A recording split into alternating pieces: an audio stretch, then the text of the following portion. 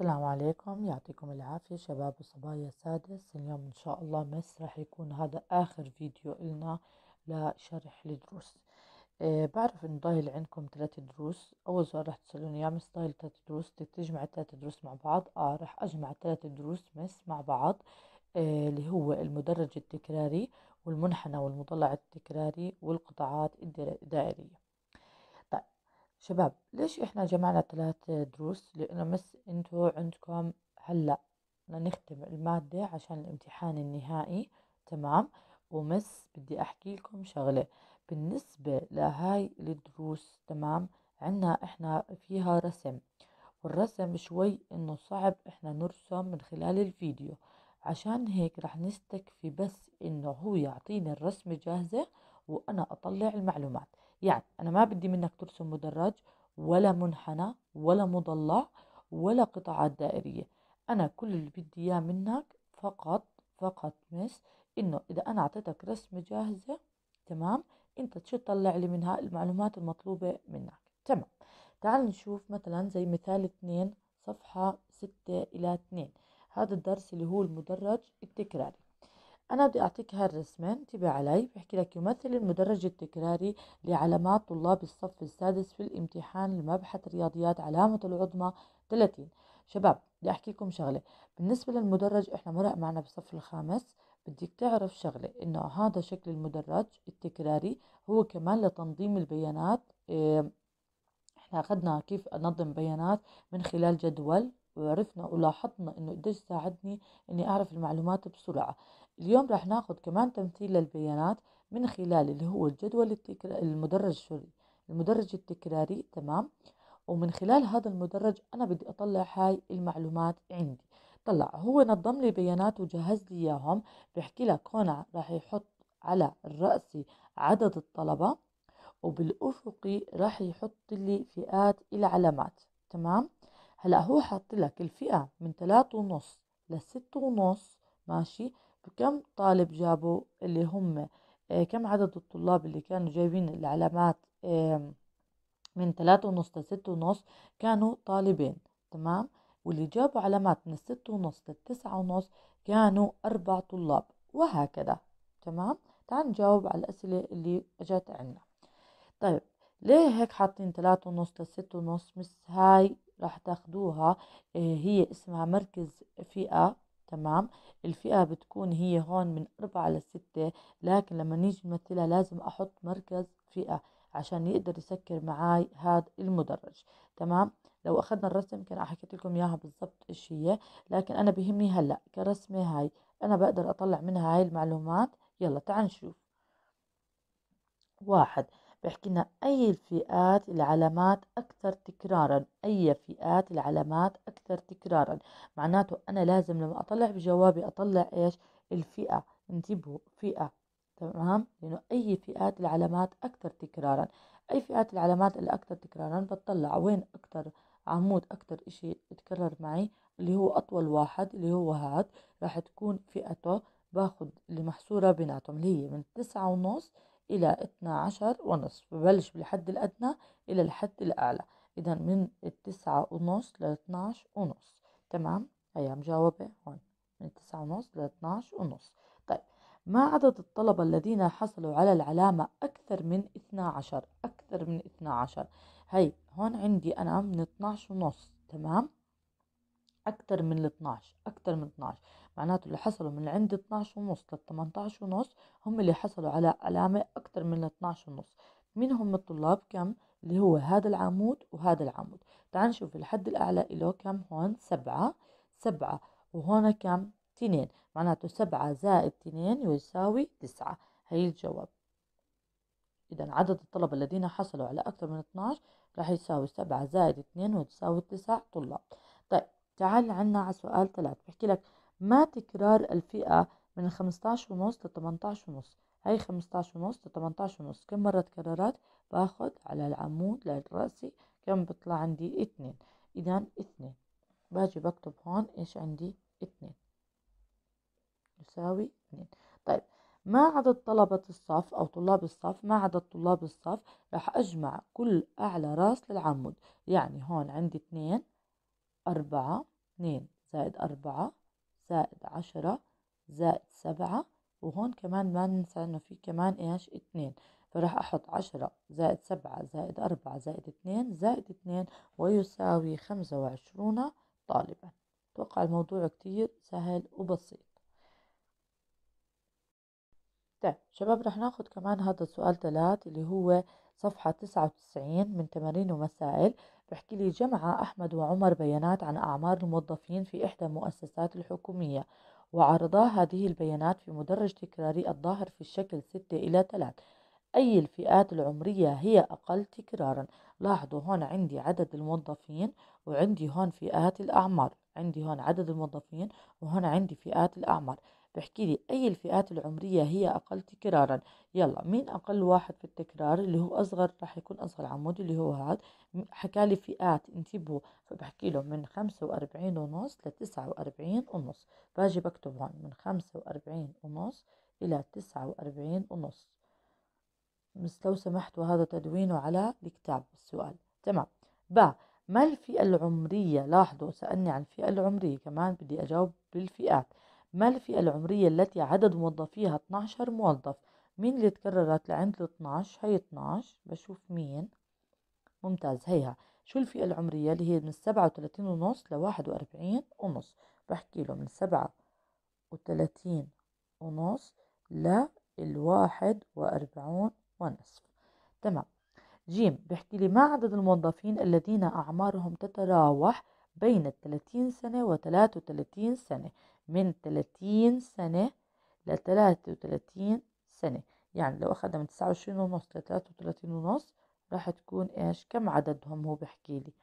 ما عدد الموظفين الذين أعمارهم إذا راح أخذ من 30 ل 33 ونص راح أطلع أطلع أطلع أشوف قديش تكررت 20 إذا كم موظف؟ راح يكونوا 20 موظف. الموضوع كتير سهل وبسيط. تمام؟ هيك بنكون خلصنا المدرج التكراري بالنسبة لدرس المضلع التكراري والمنحنى التكراري شو بدي أفهم منه؟ مضلع تكراري والمنحنى التكراري هم الاثنين نفس المثال الاثنين آه سوري الاثنين نفس الموضوع تمام؟ المضلع التكراري والمنحنى التكراري الاثنين نفس الموضوع وإلهم نفس الأهمية ونفس كل إشي. لكن الفرق بيناتهم راح أحكي لكم إياه. أول شغلة لو اطلعنا على الجدول بحكينا يمثل الجدول المجاور أعمار المعلمين في إحدى المدارس الثانوية. كيف يمكن مساعدة منذر على تمثيل هذه البيانات؟ هلا إحنا على تمثيل البيانات بمضلع تكراري أو بمنحنى تكراري. شباب أنا ما بدي أنتوا تمثل لي أنا راح اعطيك التمثيل جاهز تمام؟ بس شايفين هذا الجدول بحكي لك إنه من فئة الأعمار اللي كانوا يشتغلوا من 22 ل 26 كانوا 8 أشخاص. ولما صار عمرهم من 27 ل 31 الأساتذة صاروا 11 شخص الاساتذة بتراوح أعمارهم من سبعة وعشرين لواحد وثلاثين من اثنين وثلاثين لستة وثلاثين كانوا عشرين شخص وهكذا. تمام؟ هو مثل لك إياه بمضلع تكراري. هي مثله جاهز. أنا هيك بدي أودي لك الرسمة جاهزة. هي مضلع تكراري. هلا ليه سموه مضلع تكراري؟ طلعوا الشباب. مضلع التكراري كمان هو بيعمل على تنظيم البيانات بطريقة يعني كيف عملنا الجدول حكينا أسهل منه المدرج كمان هي في إشي أسهل اللي هو المضلع. تمام؟ هاي أنا بعطيك هذا المضلع أنا بمثل البيانات فيه جاهز. تمام؟ هلأ بدي أحكيكم شغلة شباب. آه عندك هدول هدول بسموهم مراكز فئة. تمام؟ مراكز فئة. لما يجي يمثلهم ماشي هدول بيكون اسمهم مراكز الفئة. عشان هيك انت مش شايف الفئة مية بالمية تمام؟ هلا أنا اللي بيهمني ليش سموه مضلع؟ مضلع لأنه مس هون طلعوا جميع قطع شمالها مستقيمة وإيش الشكل كمان مغلق. عشان هيك سموه إيش؟ مضلع. أنا راح يجيك السؤال الوحيد اللي راح يجيك بهذا الدرس كلياته راح يجيك إني أعطيك هذا الشكل وأحكي لك أوصف لي أوصف لي هاي العلامات ماشي؟ أوصف لي إياه هاي العلامات. إنه شو لاحظت آه، بال آه، سوري مش بالعلامات بالأعمار بأعمار الأساتذة. شو بتلاحظ هون؟ أوصف لي أنت شو شفت بهذا الشكل. أنا بحكي لك كيف بدك توصفه بس. بدك تحكي إنه المضلع التكراري هاد اللي هو كان ناتج من عدد المعلمين ماشي؟ من عدد المعلمين بيزداد لاحظوا إنه شباب كل مرة هون عنا شو عم بيعمل؟ بزيد بزيد بزيد بزيد بزيد لحد ما وصل العشرين صح؟ معناته هون بازدياد بيزدادوا عدد المعلمين بازدياد العمر.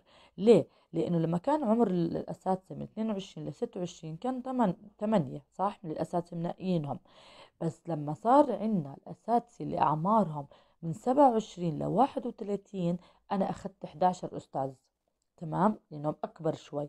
هلأ من 32 ل 36 أخذت 20 أستاذ. إذا كل مرة إيش مالي أنا كل ما بزيد العمر بزيد عدد مين؟ عدد الأساتذة. لحد ما يوصل لعمر إيش؟ 32 ل 36 اللي هو لعمر ال 34 تمام؟ المتوسط بيناتهم لل 34 إنه لحديت لعمر 34 كان 20 أستاذ. فالعمر الأغلب اللي هو ال 34 هو الأفضلية كانت له لحديت ال 20 تمام؟ الأمر الذي يدل على أنه معظم المعلمين أعمارهم حول ال 34 هون كان عندي معظم المعلمين شو أعمارهم؟ 34 بعدين بصير يتناقص بازدياد إيش؟ العمر. أنتوا بتعرفوا أنه كل ما كبر الأستاذ إحنا آه بنحكي لا بدنا أستاذ بأول حياته لأنه يكون عنده يعني حيوية وعنده كذا لأنه أكيد الأستاذ رح يتعب ويقعد بالبيت. تمام؟ كل ما كبر. فهون لما بيكبر الأستاذ إحنا بقل الطلب عليه. فقديش بصير عنا؟ لما كانوا من عمر 37 ل 41 كانوا 8 أساتذة من 42 ل 46 كانوا 5 أساتذة. فهون طلعوا لما صار عمرهم 39 قلوا ولل 44 أقل ولحديت ما وصلوا ال 49 تمام؟ أما بالنسبة لمنحنى التكراري بنقدر نرجع آه، نحل نفس السؤال اللي هو تاع الأساسي وأمثله بالمنحنى التكراري. منحنى التكراري مس نفس خطوات نفس نفس نفس خطوات المضل المضلع التكراري لكن الفرق إنه كونه منحنى خطوطه شو رح تكون؟ منحنية خطوطه منحنية. ونفس الوصف اللي أنا وصفته في المضلع بدك توصفه وين؟ بالمنحنى. ما في أي فرق بيناتهم. بس أنا بيهمني إنك تفهم الفرق آه، بين المنحنى والمضلع بخطوطه إنه هنا منحنى وهناك إيش راح يكون؟ قطع مستقيمة. تمام؟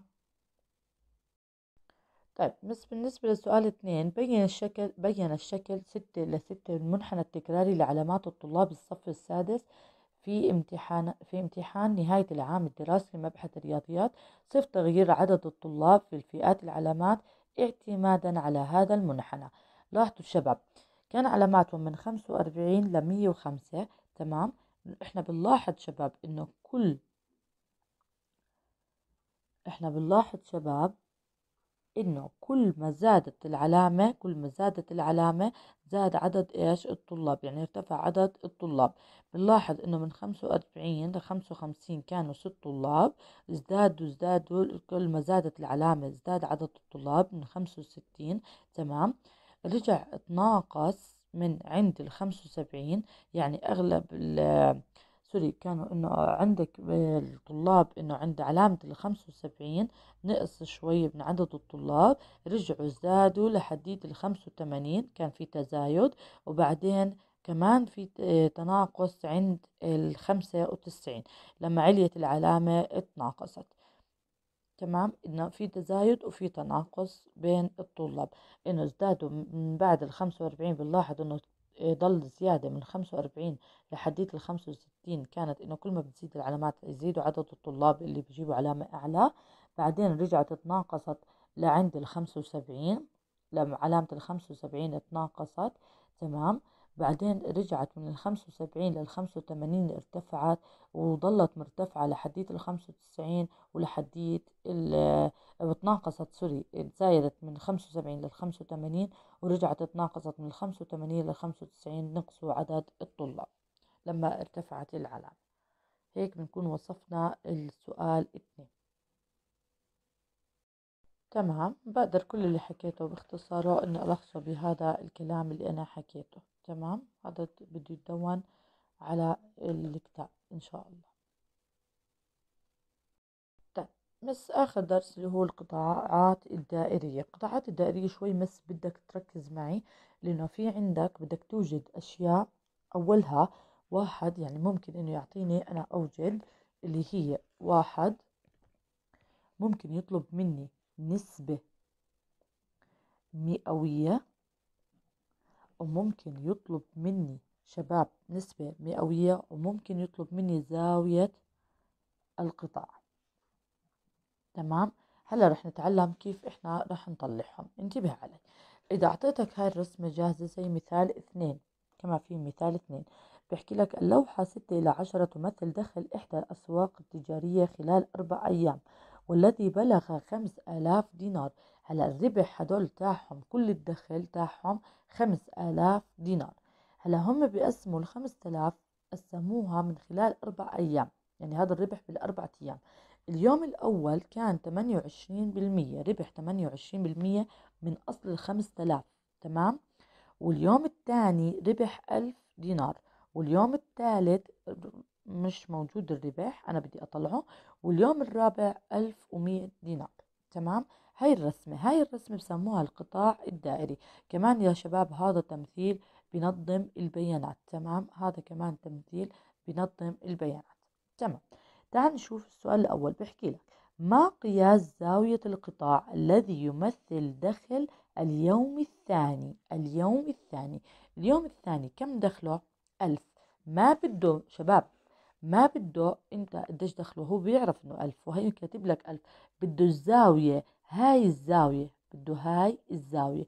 كم زاوية القطاع؟ انتبه عليك؟ بدك تطلعها؟ طيب أول شغلة إنه إحنا بنعرف إنه الزاوية حول نقطة كلياتها كم رح تكون؟ 360 درجة. 360 درجة. معناته هذا جزء من 360 درجة. شو بعمل؟ انتبهوا علي. عشان أطلع زاوية القطاع كيف بطلعها؟ انتبهوا علي شباب. أول شغلة بحط إيرادات اليوم الثاني على مجموع الإيرادات. يعني بحط أنا المصاري تاعون اللي طلعوا معي في اليوم الثاني على كل الإيرادات. تمام؟ تمام؟ طيب إيرادات اليوم الثاني كم كانت عندي؟ ألف. تمام؟ من أصل كم؟ خمس آلاف. ضرب بضربها بزاوية 360 درجة عشان يحول لي هذا الرقم لزاوية تمام؟ ل 360 درجة. كيف بدي أضربها؟ هلا كلهم هدول بيروحوا صح ولا لا؟ الأصفر تمام. بضرب هلا بقسم 360 على خمسة. في على فكرة قابلية قسم ليه لأنه أحدها هون صفر. بختصرها هاي فيها واحد وهاي فيها كم؟ اثنين وسبعين لما تقسمها. رح تطلع معك اثنين وسبعين درجة. إذا كم زاوية القطاع؟ اثنين وسبعين درجة. برجع بحكي باخد المصاري اللي هي الإيرادات اليوم الثاني اللي أنا مطلوب مني على مجموع الكل اللي إلهم وبضربها ب 360 درجة. تمام. السؤال الثاني شو طالب مني؟ هيو بس هيك حل لكم إياه نفس الحل اللي إحنا حليناه تمام؟ طيب بحكي لك السؤال الثاني. ما قيمة الدخل اليوم الأول؟ اليوم الأول هو معطيك نسبة 28% من أصل الخمس آلاف. طيب كم بالفلوس يعني؟ أنا ما بدي نسبة هلا بدي إياها الفلوس. شو بدك تعمل؟ سهلة بس. كيف بنعمل؟ بنحكي هم أصلا المصاري كم؟ خمس آلاف صح؟ وهو أخذ منهم تمانية وعشرين بالمية يعني تمانية وعشرين على مية. تمام؟ يلا اختصر صفرين وأضرب. هلا هون صفر بطلعه. بضرب خمسة في تمانية أربعين خمسة في اثنين عشرة وأربعة أربعة عشر. إذا ألف وأربعمية دينار. تمام؟ إذا كان في اليوم الأول حاصل على ألف وأربعمية دينار. هو كان شو معطيني؟ نسبة مئوية. تمام. هلا شو بيحكي لك؟ آه، عندك اللي هو السؤال الثالث. ما قيمة الدخل اليوم الثالث؟ اليوم الثالث وما نسبة المئوية. اليوم الثالث عندي مجهول. شباب كيف بدي أطلع اليوم الثالث؟ لأنه عندي مجهول. أنا بحكي لكم. نجمع اللي هو بالثلاث أيام قديش هو آه، دخل مصاري وبنقصه من دخل الأربع أيام اللي هو كام؟ خمس آلاف. طيب تعال نحكي إنه معناته خمس آلاف يا خمس آلاف ناقص بدنا نجمع الثلاث أيام مزبوط ولا لا؟ أول يوم اللي هو عندي كان ألف اللي هو اليوم الثاني واليوم الأول كان ألف وأربعمية واليوم الرابع كان ألف ومية. يلا نجمعهم. شو بيعطونا؟ ثلاث ألاف وخمس مية منقوصة من الخمس ألاف. معناته صفر صفر هاي رح تصير عشرة وهاي رح تصير أربعة. عنا خمسة وواحد دينار إذا كم باليوم الثالث كان؟ ألف وخمسمية دينار. ألف وخمسمية دينار. تمام. طيب كيف بدي أطلع النسبة المئوية للدخل ليوم الثالث هو بده؟ آه وما نسبته المئوية؟ يعني بدي نسبة المئوية لليوم الثالث كيف بطلعه شباب؟ نفس ما طلعنا الأول. تمام؟ إيه لا سوري هناك طلعنا زاوية القطاع. آه هلا كيف تطلع النسبة المئوية اللي هو الطلب؟ الثاني اللي حكيت عنه بأول الدرس المئوية كيف بطلعه؟ انتبه علي. بحط مجموع الإيرادات ماشي شباب؟ مجموع الإيرادات اللي هو ألف وخمسمية على قديش من أصل قديش هم؟ من أصل خمس آلاف وبضربها بمية بالمية. بضربها بمية بالمية لأنه النسبة مئوية. لو طلب زاوية بحط 360 بضربها ب 360 كلهم نفس الطريقة تمام؟ طيب يلا هون شو راح يصير عندي؟ بغير الأصفار هي صفرين مع صفرين بروح ماشي؟ وبضربهم بضرب الخمسطعش بالمية وبقسمها على خمسين كمان هذا الصفر بقدر أروحه مع هاد بيطلع معاي مية وخمسين آه، على خمسة طب هاي فيها واحد وهاي فيها ثلاث ثلاثة في عشرة ثلاثين إذا وتساوي ثلاثة في عشرة ثلاثين اللي هي بالمية. إذا ثلاثين بالمية. تمام؟ طيب. طيب آخر سؤال عنا اللي هو بيحكي لي ما النسبة المئوية للدخل اليوم الرابع؟ اليوم الرابع. اليوم الرابع نفس الحكي النسبة المئوية شباب؟ نفس الطريقة النسبة المئوية لليوم الرابع. شو بتساوي؟ قديش اليوم الرابع هو كان؟ ألف ومية. على من أصل كم؟ خمس آلاف. من خمس آلاف. بضربها في مية بالمية. هاي طير الأصفار مع بعض. تمام؟ وأضرب الحداش بالخمسين. هاي في عندك هون صفر مع صفر بروح. وهاي فيها واحد وهاي فيها اثنين. إذا مساوي اثنين وعشرين بالمية. تمام؟ اثنين وعشرين من مئة. وهيك بكون طلعت النسبة المئوية. كتير سهل الموضوع. شباب عندنا سؤال اثنين اللي هو صفحة مية وتسعة. سؤال اثنين صفحة مية وتسعة. بيحكي لك سؤال اثنين سجلت نجاح أنشطتها اليومية كما في الجدول التالي. معطيني المطالعة أخذت منها عدد الساعات اثنين. بتطلع كل يوم ساعتين وبتنام 8 ساعات وبالمدرسة بتقضي ست ساعات. وبتحل واجباتها بساعتين وبتشاهد التلفاز بثلاث ساعات ومهمات أخرى بتقوم فيها ثلاث ساعات تمام؟ هدول كلياتهم لو أنا جمعتهم شو بيطلعوا؟ 24 ساعة لأنه خلال اليوم كامل. تمام بقول لك الرسم البياني الدائري في الشكل 6 إلى 11 بين أنشطة نجاح خلال اليوم 24 ساعة. أجب عن الأسئلة الآتية. واحد بحكي لك كيف يمكن أن تعين قطاع النوم؟ لماذا؟ وين راح أحط قطاع النوم؟ ممتاز. الكل راح يكون حاكي لي إنه إيش؟ راح نحطه بالأخضر. ليه؟ لأنه أكبر قطاع لأنه أكبر قطاع إذا هون راح أحط أنا النوم. تمام. لأنه أكبر قطاع طيب بحكي لنا آه، عين على الرسم كل من القطاعات الواردة في المسألة. شباب شوي الأصغر منها راح تكون مين هي؟ المدرسة صح؟ هون راح أحط إيش؟ المدرسة. لأن هاي أصغر بشوي. المدرسة. تمام. هلا أنا راح عندي تمانية والستة ضل عندي طلعوا تنتين اثنين وتنتين ثلاث متساويات. الاثنين هم راح يكونوا الأصغر فراح أحط هون أنا المطالعة. مطالعة. وهون راح أحط اللي هي حل الواجبات حل الواجبات المدرسية. وهون راح أحط عند الثلاث مشاهدة. التلفاز وهون اللي هي المهمات الأخرى صح؟ تمام. هيك بكون أنا عينته. طيب عين على الرسم كل من القطاعات عيناهم. جيم ما قياس زاوية كل من القطاع المطالعة والنوم؟ بده النوم النوم كم أصلا كان؟ 8 من أصل 24 بده زاوية القطاع وعندك المطالعة كانت 2 تعال نشوف. زاوية باجي بحكي له زاوية قطاع النوم يساوي كم ساعة هي بتنام؟ 8 ساعات 8 ساعات من أصل كم؟ 24 كونه حكى لي زاوية معناته بضرب ب 360 درجة تمام؟ يلا تمانية هاي فيها واحد وهاي فيها ثلاث اقسمها على ثلاث هاي فيها واحد وهاي فيها واحد اثنين صفر إذا مية وعشرين درجة إذا وتساوي مية وعشرين درجة. طيب بده زاوية قطاع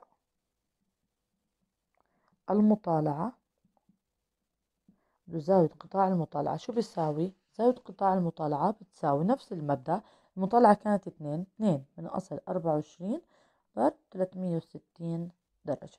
هاي فيها واحد وهاي فيها اثناش وهاي فيها واحد.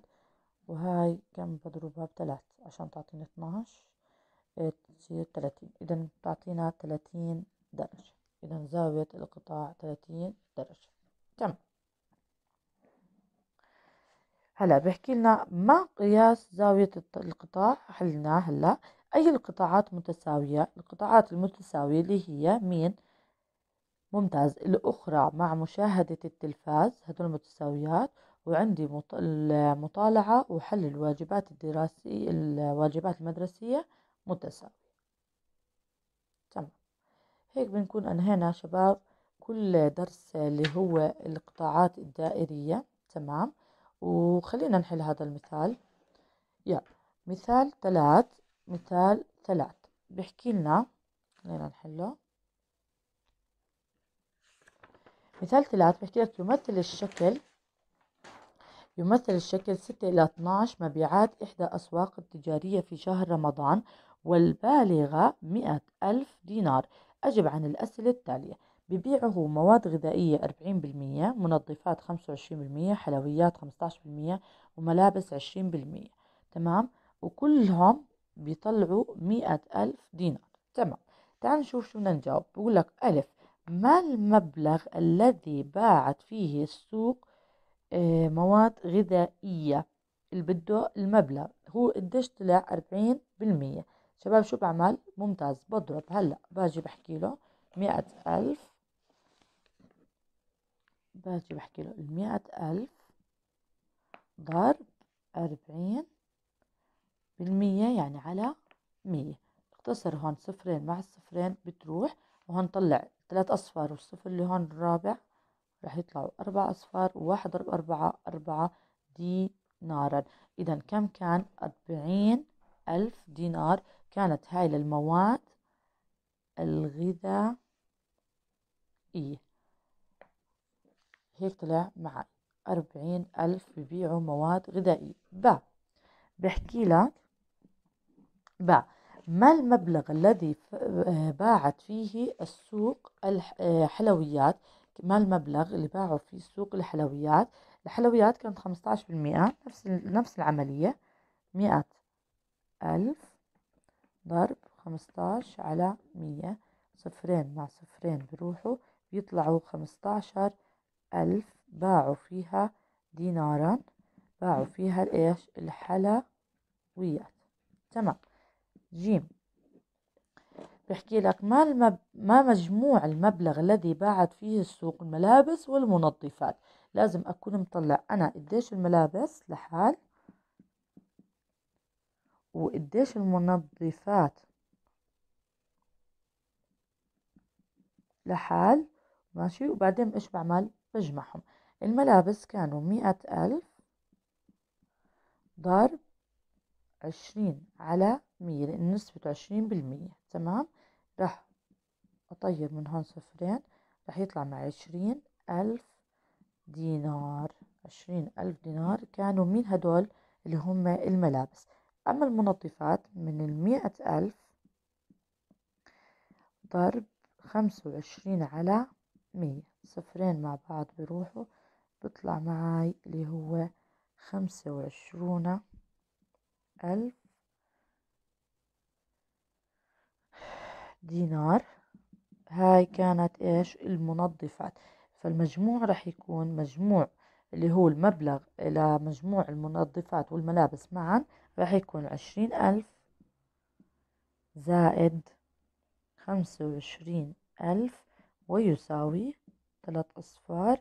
عندك خمسة أربعة إذا خمسة وأربعين ألف دينار. كان مجموع الملابس مع المنظفات مع بعض. تمام. هاي بالنسبة للفرع إيش؟ جيم تعال على فرع دال بحكي لك ما قياس زاوية القطاع الدائري التي تمثل مبيعات المنظفات؟ المنظفات. هلا المنظفات إحنا قديش حكينا كونه بده زاوية القطاع تمام؟ زاوية قطاع المنظفات. كيف بدي أطلعها؟ شباب المنظفات إحنا طلعناها قديش كانت؟ وينها؟ هي. المنظفات قديش كانت؟ خمسة وعشرين ألف. بحكي خمسة وعشرين ألف على المبلغ كله اللي هو مية ألف تمام؟ ضرب اللي هي تلتمية وستين درجة لأنه حكالي إيش؟ زاوية قطاع تلتمية وستين درجة. ويساوي هلأ بطير ثلاث أصفار مع بعض خمسة وعشرين على مية وهون في عندي صفر بطير مع الصفر هاد وهون على خمسة فيها خمسة وهون على خمسة فيها اتنين هانا فيها واحد وهون اتناش اتناش ضرب خمسة بيعطينا اللي هو ستين. ستين درجة. هيك بيكون عنا أنهينا درس القطاع الدائري.